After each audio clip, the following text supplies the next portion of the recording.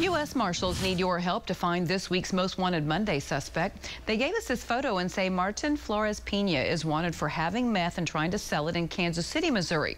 Marshals say he was last known to be in the Tulsa area, so if you have information that could lead to his arrest, you're asked to call crime marshals at the number on your screen.